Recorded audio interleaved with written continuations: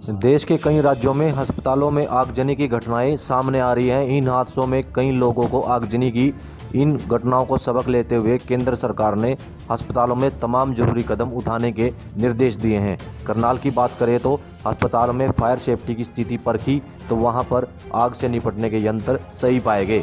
जिला नागरिक अस्पताल की बात करें तो सभी आग बुझाने वाले सिलेंडर देखे गए तो वहाँ पर 2021 की एक्सपायरी डेट है। अक्सर कई बार देखा गया है कि गैस सिलेंडर एक्सपायर डेट के मिलते हैं, लेकिन करनाल के जिला नागरिक अस्पताल में बेहतर इंतज़ाम पाए गए। इतना ही नहीं, हर कर्मचारी को फायर सेफ्टी के लिए प्रशिक्षण दिया गया है।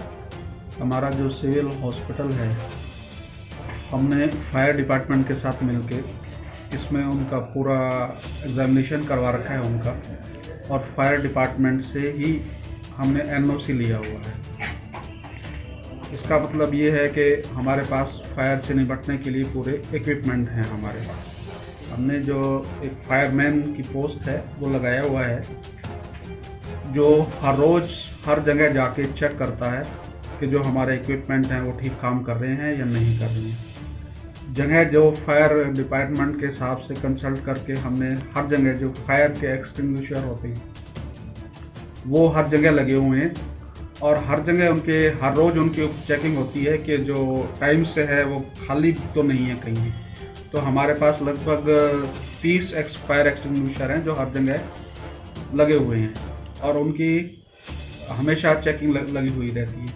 इसके अलावा हमारे पास जो पंप सिस्टम है, वो है ताकि अगर आग लग भी जाए तो वो फायर एक्सटिंग्विशर ना हो तो पानी से जो वो आ, पानी से उसको बुझाया जा सके। डिपार्टमेंट की जो भी इंस्ट्रक्शंस हैं फायर डिपार्टमेंट की वो हमने पूरी की हुई हैं और उनको दिखा के उस हमने उन डिपार्टमेंट से एनओसी लिया हुआ।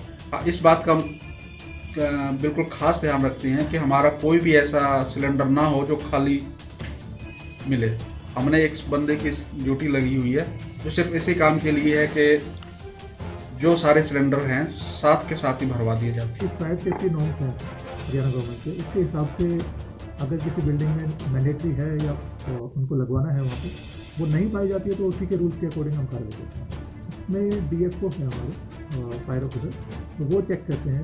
अगर कहीं पर भी कमी पाई जाती है तो उसमें कार्रवाई फायर उपकरण की आग के लिए सभी फायर उपकरण संयुक्त करना जैसे सिलेंडर हो। गया सिलेंडर हो गोजरी होगी हाइड्रेंट होगी और इसके बारे में हमारे सभी स्टाफ आपको जो अपने आउटसोर्सिंग के हो गया वॉइस कोचिंग सभी को इसकी ट्रेनिंग भी दी गई है।